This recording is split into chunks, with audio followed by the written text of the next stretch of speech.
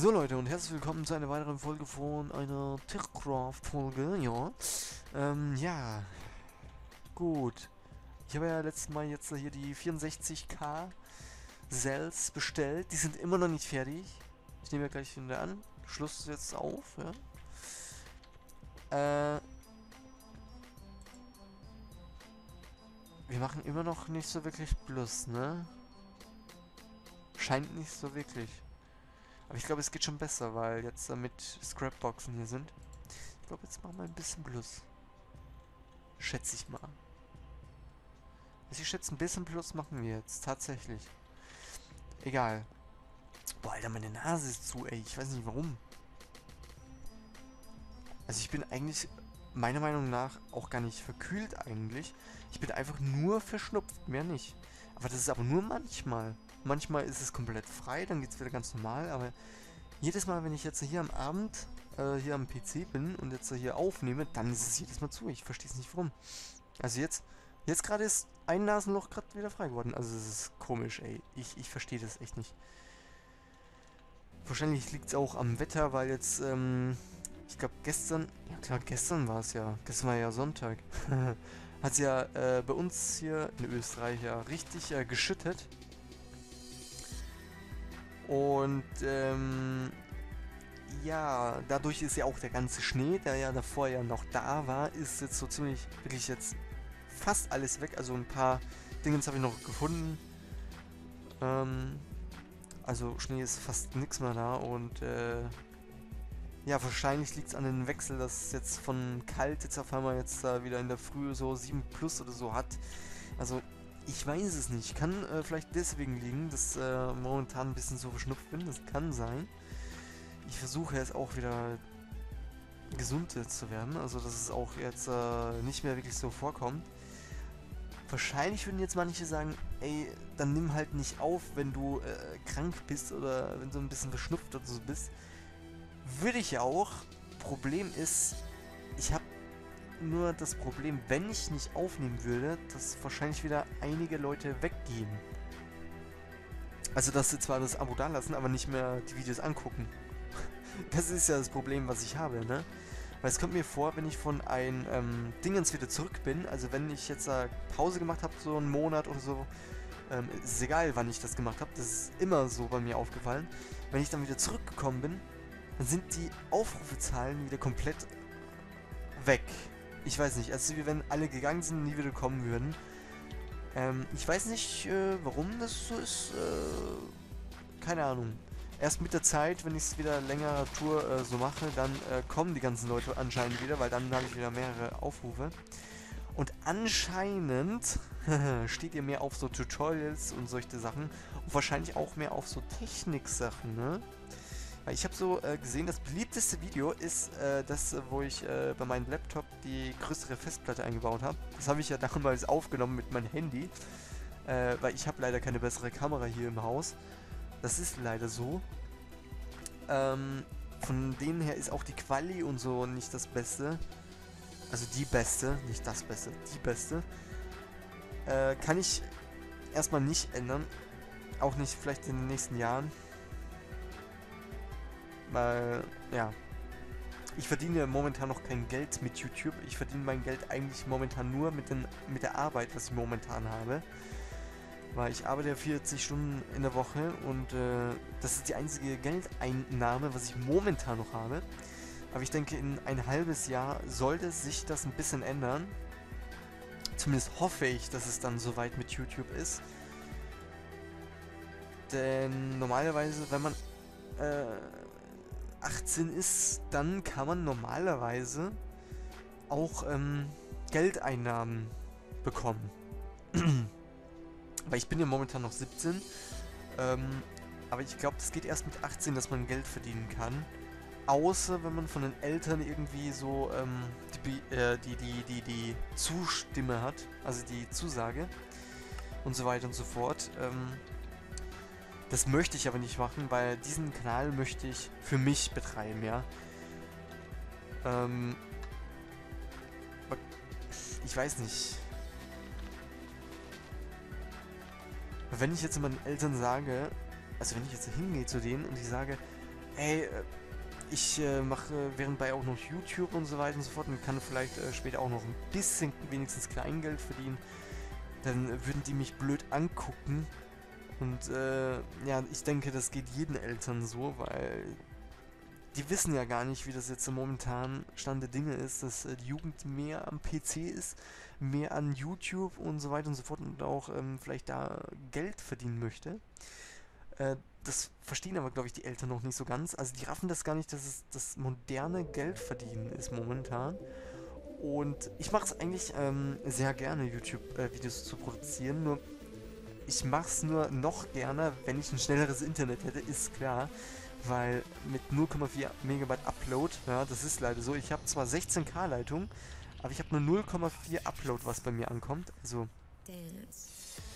Jetzt äh, kommt von äh, Dingens eine Meldung hier. Egal, wegdrücken.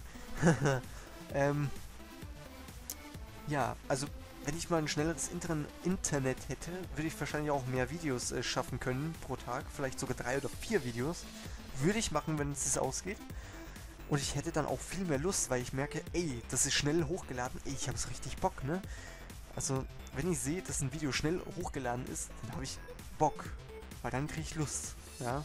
Und wenn man dann noch äh, positive Kommentare bekommt und so weiter und so fort, dann äh, bekommt man ja auch richtig Lust. Und äh, ja...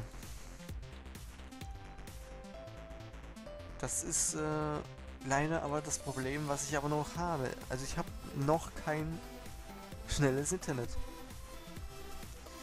Vielleicht wird sich das in einem halben Jahr ändern, vielleicht aber auch nicht. Ich weiß es noch nicht, wie äh, die Zukunft sein wird. Ähm, vielleicht, dass ich in einem halben Jahr ähm, von zu Hause ausziehe, in eine Wohnung gehe. Ich weiß auch schon ziemlich wohin. Da werde ich wahrscheinlich zu meiner äh, Schwester ähm, wahrscheinlich gehen. Das Problem wird wahrscheinlich sein, dass sie öfters äh, mich stören wird oder die Aufnahme irgendwie stören wird. Das wird eher das Problem sein. Äh, ich weiß nur nicht, äh, was die Wohnung, äh, da wo sie jetzt drin ist, weil sie hat momentan das Internet ja noch nicht äh, dazu gebucht, weil sie hat ja den USB-Stick ne, mit Internet. Gibt's ja auch, haben ja vielleicht auch manche von euch. Ähm, aber ich weiß gar nicht, also sie hat zwar das LAN-Kabel und so hat sie ja alles, aber ich weiß gar nicht, was das für eine Leitung ist, beziehungsweise wie schnell das die Leitung ist. Und ich hoffe, dass es viel schneller ist als wie das hier. Weil dann würde ich es sowieso freiwillig dahin ziehen. Zwar muss ich dann monatlich äh, Miete zahlen, aber gut. Wenn man vielleicht dann ein bisschen mehr mit YouTube ein bisschen mehr erreicht hat, dann kann es ja sein, dass man nur durch YouTube vielleicht ein bisschen das ein bisschen abzahlen kann. Ähm, wer weiß, vielleicht wird es mal ein bisschen besser. Und vielleicht wird ich auch ein bisschen bekannter, ich weiß es ja nicht es kann sich alles zu Guten oder zu Schlechten wandeln. Also wenn es blöder geht, ähm, wird es nicht mehr viel mehr werden. Äh, muss ich äh, entscheiden, da es ja mein YouTube-Kanal ist, also muss ich ja entscheiden, ob es jetzt weitergehen muss oder nicht. Und äh, Alter, mir geht ich das Redstone aus. Das, das nervt mich jetzt momentan. ähm, ja, das Problem ist, äh, meine Schwester bekommt auch sehr oft Besuch. Aber gut, da wo das... jetzt, vers jetzt versagt meine Stimme wahrscheinlich jetzt wieder. Sehr geil. Sorry, Leute. Ich habe ja auch nichts getrunken seit einiger Zeit. Das Problem ist, sie bekommt halt öfters Besuch. Und es, es ist zwar... Also das Zimmer, was frei ist, das Schlafzimmer, da wird ja auch wahrscheinlich dann mein Rechner stehen und es wird wahrscheinlich sehr eng, was eigentlich nur ein Schlafzimmer ist. Ähm. Ja. Es ist zwar etwas vom Eingang entfernt, aber ich sag mal, es ist vielleicht 5 Meter vom Eingang entfernt, ja, der Raum.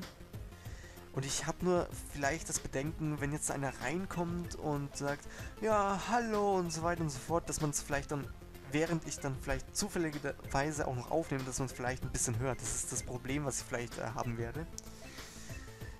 Ich weiß es nicht, ob so ist. Das müsste ich mal testen. ja. Also, da muss ich erstmal gucken, wie das so abläuft. Muss ich echt mal gucken. Ähm...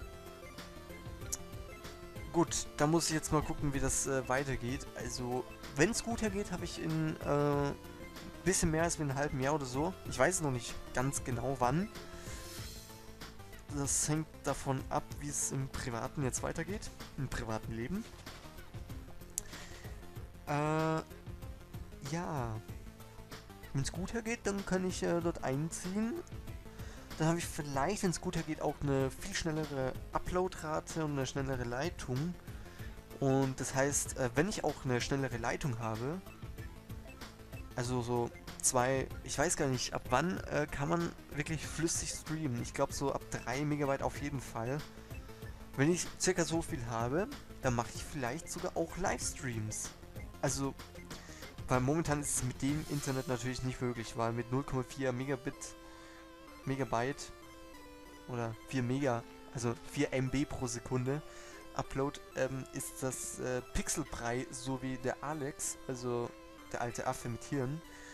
Vielleicht kennt ihr ihn so, weil ich habe den auch verlinkt äh, auf meinem YouTube-Kanal. Der macht ja auch einen Twitch-Stream. Äh, Aber momentan ist er nicht so aktiv, weiß ich nicht warum. Ähm, jo. Also, wenn ich mal wirklich ein schnelleres Internet habe, dann kann es sogar vielleicht sein, dass ich täglich sogar streame. Das kann sein. Ich würde ja auch lieber streamen, als vielleicht so YouTube-Videos machen. Der einzige Vorteil ist, ähm, das Rendern dauert ja ziemlich lange. Äh, weil ich kann ja, also ich mache es jetzt momentan so, dass ich nicht eine Folge extra immer rendere, so wie ich es äh, früher immer gemacht habe, sondern jetzt, ähm, also ich habe jetzt mal nachgeguckt, ob man nicht äh, mehrere Folgen auf einmal rendern kann. Das geht tatsächlich. Das mache ich jetzt auch seit einiger Zeit. Ähm, so wie Big City habe ich jetzt äh, von der Folge 7 bis 12 auch in einen Renner Durchlauf durchrennen lassen. Dann hat er halt mehrere Dingens gemacht. Läuft sehr gut. Ähm, nur es braucht dann noch länger, bis es fertig ist. Ist ja klar, weil das, die ganzen Rennervorgänge werden nach und nach abgeschlossen. Und jedes Rennen dauert halt ein bisschen. Und ähm, das, das ist zum Beispiel eine Zeit, die ich dann erspare, wenn ich streame. Denn wenn ich streame, dann ist es alles live. Das heißt, ich muss nicht rennen, ich muss kein Thumbnail machen und solche Sachen. Obwohl Thumbnail, wie gesagt, habe ich eher gar keinen Bock mehr, aber ganz ehrlich, ich weiß nicht. Mache ich eher gar nicht. Ich habe ehrlich auch gar keinen Bock drauf. Vielleicht, dass äh, der Jakob vielleicht äh, das äh, für mich äh, hier weitermacht und dafür sorgt, dass immer bei den neuesten Videos, falls die dann als geplant hochgeladen sind, dass er nachher, äh, bevor es online geht, noch ja, die Thumbnails draufpackt und dann, wenn es online kommt, dann alles drauf ist. Ich muss mal mit ihm reden, ob er das irgendwie macht, weil dann kriegt er auch die äh, Kontodaten von mir. Ähm, wenn er es machen möchte. Und äh, ja. Gut, äh, was wollte ich noch sagen? Wenn ihr meinen PC momentan sehen wollt, also wenn ihr es wirklich Video sehen wollt, mein PC sehen wollt, dann könnt ihr es mal in die Kommentare schreiben. Würde mich mal ganz interessieren, ob ihr das mal sehen wollt. Denn ähm, dann würde ich es wieder abfilmen. Ähm, ich könnte es ruhig zeigen, das ist kein Problem. Äh, den PC habe ich natürlich selbst zusammengebaut. Ich habe nur das Gehäuse und eine Festplatte von einem alten PC noch äh, weiterverwendet. Ansonsten habe ich da alles neu reingebaut. Äh, ist natürlich nicht der beste PC, aber Vielleicht äh, baue ich mir einen komplett neuen ähm, in ein, zwei Jahren mal zusammen. Ich weiß nicht. Auf jeden Fall kommt eine ganz andere Grafikkarte mal. Ich weiß nicht, ob ich äh, schon in ein, zwei Monaten vielleicht die Grafikkarte ändere, weil ähm, ja, ich sag mal so, AMD schön und gut. Also meiner Meinung nach ist AMD gar nicht schlecht, also sind günstig. Performance ist auch nicht schlecht. Ähm, aber Performance ist bei weitem nicht so wahrscheinlich, also ich weiß es ja nicht, weil ich benutze die meiste Zeit eigentlich nur AMD-Grafikkarten. Ich hatte nur eine, ähm, also ich hatte eine Nvidia-Grafikkarte mal, aber das ist eine gewesen von, weiß ich nicht, mit AGP-Slot und so weiter und so fort, also noch die ganz alten mit 256 Megabyte Speicher, DDR2 war das sogar damals schon. Und ähm, ja, aber ich denke, Nvidia ist ja auch ziemlich gut. Und ähm, ich habe mir jetzt mal eine Grafikkarte von Nvidia angeguckt, die gar nicht so teuer ist. Also knapp 400 Euro kostet die. Ähm, also nicht ganz 400, so 380, 360 so rum. Ich glaube 360 habe ich es gesehen. Mit 370 so rum. Ähm, ja, die würde ich vielleicht sogar holen in ein, zwei Monaten. Ich bin mir noch nicht sicher. War bei einem Spiel, ich weiß nicht, ähm, also bei Arma 3 altes, ja, Arma 3 altes Live, äh, das Spiel kennt ihr ja sicherlich. Ähm, das Spiel ist ziemlich grafikkartenhungrig und das packt meine Grafikkarte irgendwie nicht. Ähm, ja, das ist witzig, ne? Ähm, es läuft zwar auf niedrig flüssig, aber bei manchen Server, wenn ein bisschen mehr los ist, dann ruckelt es dort, aber auch mit niedrigen Einstellungen und das kann nicht am Server liegen, weil bei manchen läuft es flüssig. Äh, das ist das Problem, weil ich kann nicht noch weiter runterstellen. Vielleicht noch ein paar, paar kleinen äh, Mini-Optionen da. Aber viel mehr kann ich eigentlich auch nicht mehr runterschalten. Und das ist zum Beispiel auch ein Grund, warum ich ähm, das äh, wechseln will, die Grafikkarte. Von denen her, es war ja auch nicht teuer und es ist eigentlich gar nicht schlecht, weil ich kann alle möglichen Spiele außer Arma 3 Altes Live ziemlich in Ultra zocken. Aber manche natürlich nicht. Also der Alex, also, also der alte Affe mit Hirn, der hatte, ähm, wie ich ihn kennengelernt habe, die gleiche Grafikkarte gehabt. Äh, er konnte aber nicht alles auf Ultra zocken. Das liegt einfach daran, dass meine Auflösung auf 1680 x 1050 ist. Das äh, ist leider vom Monitor leider so. Das heißt, ich habe nicht ganz Full HD. Äh, und er hat natürlich Full HD, also 1080p hat er von der Auflösung her. Und da kann er nicht mehr ganz äh, flüssig äh, spielen auf Ultra mit Euro Truck Simulator 2. Ich natürlich schon, weil meins ist ja noch nicht ganz auf Ultra, ähm, Ultra auf Dingens. Und ähm, ja, vielleicht, dass ich mir auch mal einen 1080p Monitor hole oder so. Ich weiß es nicht, vielleicht mal einen größeren. Ähm, wäre vielleicht gar nicht so schlecht. Weil für die Streams ist es auch besser, wenn man eine 10 zu 9 Auflösung hat. Äh, das ist ja hier momentan auch eine 10 zu 1 Auflösung, glaube ich. Äh, 10 zu... Nee, 16 zu 9, so. Aber irgendwie ist es eine komische Zahl und ich weiß nicht, ob äh, 1650 mal... Nee, 1600... 1000... Nee, wie? 1680 mal 1050, glaube ich, oder? Warte mal, ich muss jetzt mal ganz kurz... So, jetzt bin ich wieder hier. Ähm, ja.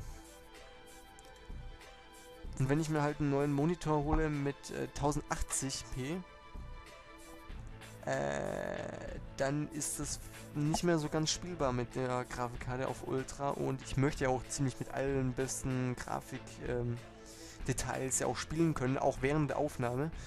Und das ist mit der Grafikkarte leider nicht ganz so möglich, wenn ich auf 1080p dann habe. Und auch für ähm, Switch ist es, glaube ich, besser, wenn ich äh, 1080p Auflösung habe.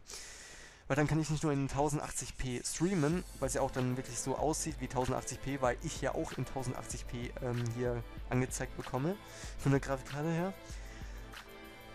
Äh, sondern ich glaube, das ist auch von der Auflösung äh, besser, weil es dann besser dann angezeigt wird, weil sonst da sieht das gar nicht so gut aus. Also ich hatte mal einen Teststream gemacht, sieht auch nicht gut aus. Und ich glaube, da hatte ich ein kleines Problem mit der Auflösung. Da musste ich, glaube ich, extra umstellen auf eine Auflösung, äh, die von auf jeden Fall von der Dingens war. Und ganz ehrlich, das war nichts. Also da muss ich wirklich gucken, dass äh, der Streaming-Monitor auf 1050 1080 Pixel ist. Ähm, und dass ich den, was ich jetzt momentan habe, äh, vielleicht als Zweitmonitor oder so nehme. Und den, was ich jetzt als zweiten Monitor habe, also der noch kleinere, der 19 Zoller, dass ich den vielleicht als Drittmonitor nehme. Keine Ahnung, ich muss mal gucken. Äh, ja. Also da muss ich noch viel machen und äh, ja. Gut. So.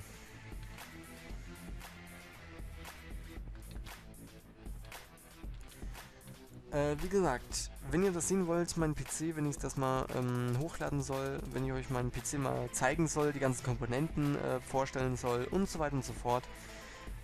einfach äh, in die Kommentare reinschreiben oder in E-Mail oder sonst irgendwo reinschreiben, wo ihr mich auch immer kontaktieren möchtet oder könnt, sozusagen, weil manche haben ja wahrscheinlich gar nicht Twitter oder Facebook.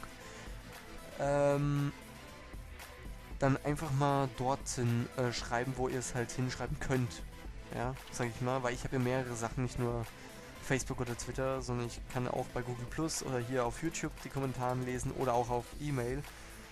Ähm, ich bin vielseitig, wenn man es so sagen möchte, so sagen sollte. Ansonsten, wenn es euch äh, wieder gefallen hat, die Folge, dann lasst eine positive Bewertung da, abonnieren nicht vergessen und ähm, natürlich auch ähm, kommentieren. Und wie gesagt, einfach mal schreiben, ob ich das machen soll. Und ähm, ja, weil mir kommt vor, ihr mögt ja Technik-Sachen auch, weil ihr das eine Video am meisten angeguckt habt, weil das hat ja auch momentan über 1000 Aufrufe, glaube ich. Ich kann immer ganz schnell nachgucken. Ich weiß, die Folge ist schon wieder überzogen, aber es ist leider so. Ähm, 1036 Aufrufe hat es momentan. Und das ETS 2 äh, Tutorial, also das alte Tutorial, ja, das was jetzt nicht mehr aktuell ist, hat 980 Aufrufe. Finde ich krass. Also, das ist richtig extrem. Ich hatte nie gedacht, dass wenigstens ein Video über 1000 Aufrufe hat. Oder überhaupt 100 Aufrufe. Aber das ist wirklich krass. Also, Wahnsinn. Also ich bin überrascht. Also, es geht wirklich gut. Gut, dann würde ich sagen, dann äh, sehen wir uns in der nächsten Folge. Ich mache jetzt hier auch ähm, Ende.